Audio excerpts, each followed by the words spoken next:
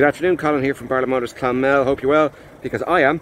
It is, OMG, a perfect day here on the Costa del Clonmel. Perfect conditions for showing you this dinger of a van. What I call the epitome of a handy sized van. Uh, it's a 2020 Transit Courier, 1.5 diesel, and doesn't it look smart?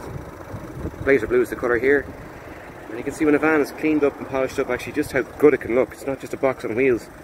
It can be like another employee in your business because it represents. Now I'm going to do my usual, move around the van relatively slowly and with uh, due consideration and that's to give you as much an idea as I can to the overall condition of the van because it is absent of lumps or bumps, dings or dents. It's just a nice tidy van.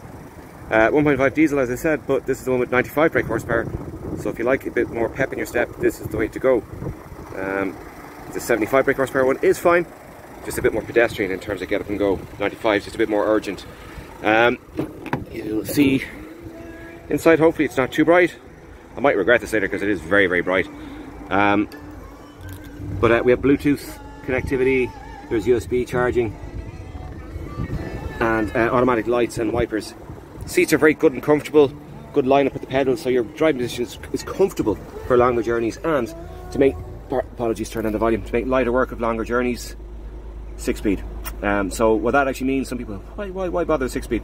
It's a cruising gear effectively, and it just helps keep the engine speed down, things a little bit less raucous. So a more relaxing progress uh, at higher road speeds. Uh, so for instance on the motorway, and it's also very, very useful in terms of keeping uh, fuel economy on the right side, which is where you want it to be, obviously. So we have a really nice van. Very car-like to drive, by the way. Uh, I, I'm always stressing that, and here I somehow managed to leave it out. I would encourage you to come along and see for yourselves, see what you think. Hopefully we'll have a day like this when you when you come to see us. Until then, thanks for watching. Cheerio.